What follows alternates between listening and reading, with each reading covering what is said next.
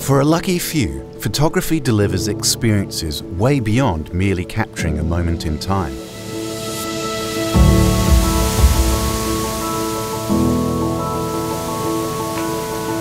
Those who become immersed find the journey totally captivating.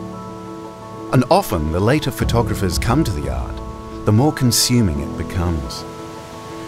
My love of landscape photography helped me see my home state of Tasmania in a different light.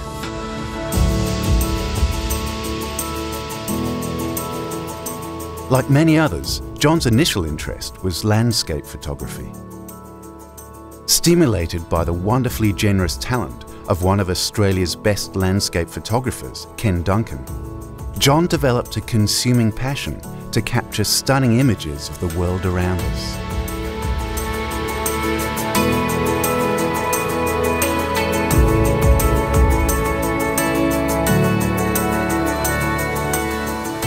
The photographer too was captured. John's photography interests evolved. Landscape photography taught him to look up, look down and be patient. In developing that discipline, and also the extreme patience required, he discovered another world. Almost a parallel world.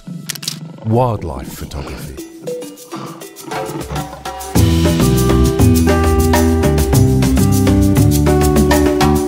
Photographer assumes the role of the harmless hunter and becomes intoxicated by the excitement of the animals of Africa.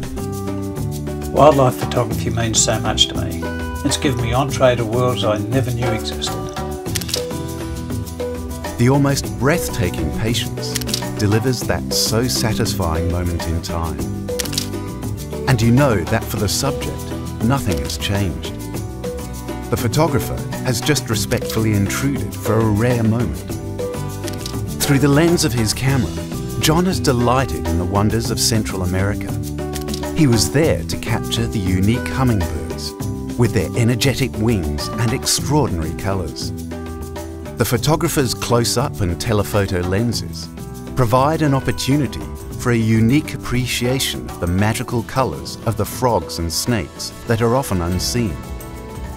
To view more of John's photographs, go to www.johnwiseman.com.au. And from the 1st to the 10th of September, visit Ken Duncan Gallery, 414 Entrance Road, Erina Heights, Central Coast, New South Wales.